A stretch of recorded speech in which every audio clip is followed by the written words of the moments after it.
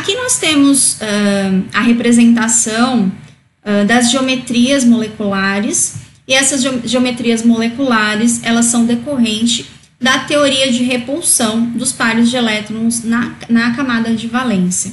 Então, eu estou voltando um pouquinho nessas teorias. O nosso objetivo hoje não é dar uma aula assim complexa a respeito dessa geometria molecular, uh, mas só que vocês entendam algumas dessas geometrias para a gente começar a falar um pouco das estruturas e propriedades das moléculas em função uh, da ligação. Então aqui vocês têm praticamente como se fosse um gabarito aqui nesse desenho, né?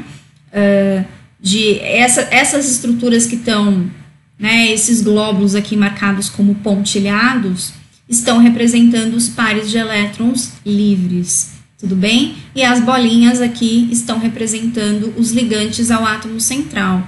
Então, por que, que isso é importante? Nós vamos ver alguns exemplos e eu já volto aqui com vocês.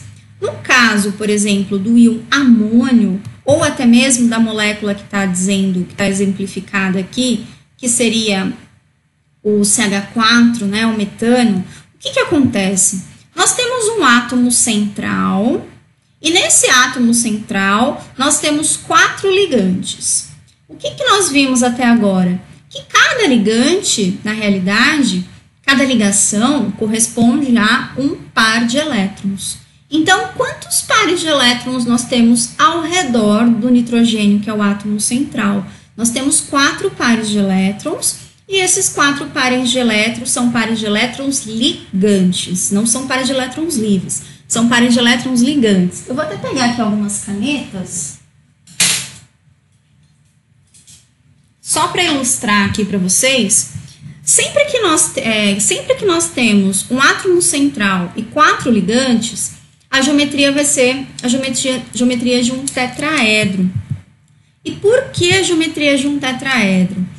Considerando a teoria de repulsão dos pares de elétrons na camada de valência, elétrons têm carga negativa, portanto, eles sofrem repulsão. Então, como que eles vão se acomodar no espaço? A maneira como esses pares de elétrons vão se acomodar no espaço é o que vai ser responsável pela geometria das moléculas. Então, nesse exemplo aqui, nós temos um átomo central e quatro ligantes.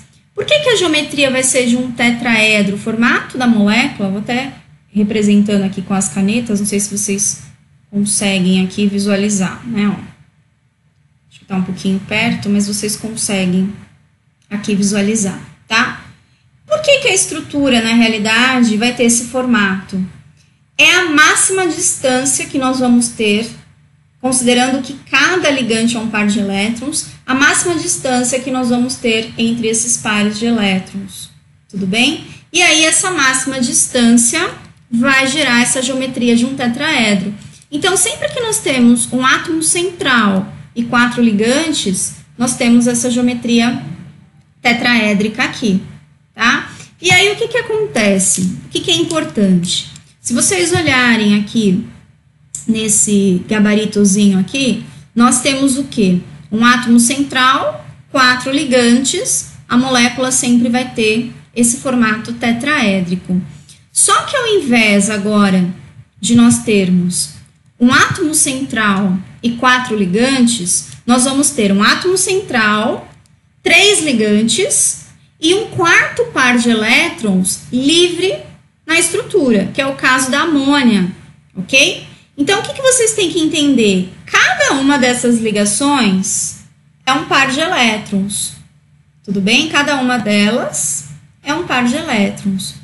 E aí, o que, que acontece? Se cada uma delas é um par de elétrons, o formato, considerando os elétrons ligantes ou não ligantes, também é um tetraedro, porque são quatro. Só que esse que está aqui, ele não está realizando ligação, mas ele, ele existe. Então, qual vai ser, eh, digamos assim, a geometria da molécula? Essa geometria vai ser uma geometria piramidal, ou seja, é um tetraedro, só que nós temos uma dessa, um desses pares de elétrons que compõem o tetraedro, que é esse que está representado aqui na figura em vermelho, não realiza a ligação, tudo bem?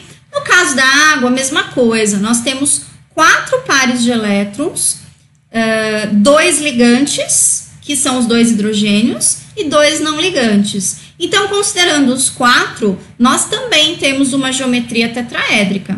Só que desses quatro, dois deles não estão realizando ligação.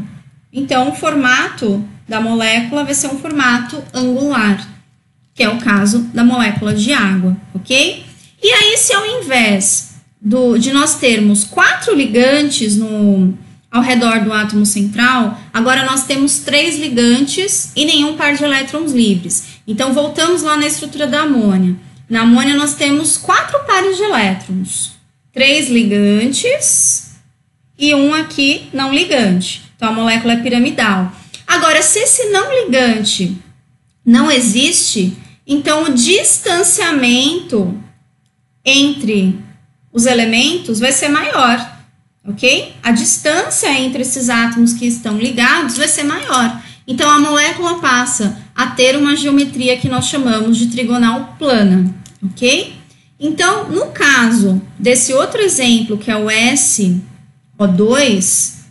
se nós observarmos no SO2, nós temos um átomo central e um par de elétron livre.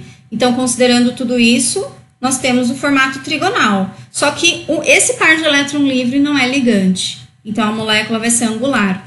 A diferença do SO2 para a água, o H2O, é que na realidade a água ela é derivada, a estrutura é derivada de um tetraedro porque contém dois pares de elétrons livres. Então, considerando os pares de elétrons livres, nós teríamos um tetraedro. Essa outra estrutura do SO2, ela é derivada na realidade de uma estrutura trigonal plana, porque nós temos um par de elétron livre aqui.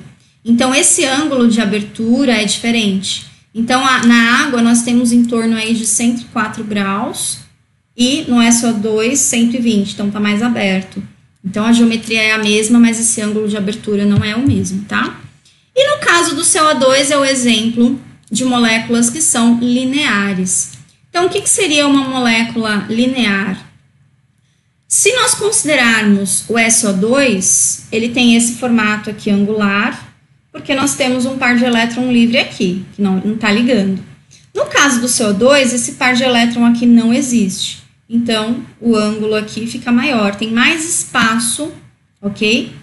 Para que uh, esses elétrons que compõem a ligação se localizem. Então, nós vamos ter uma molécula linear, ok?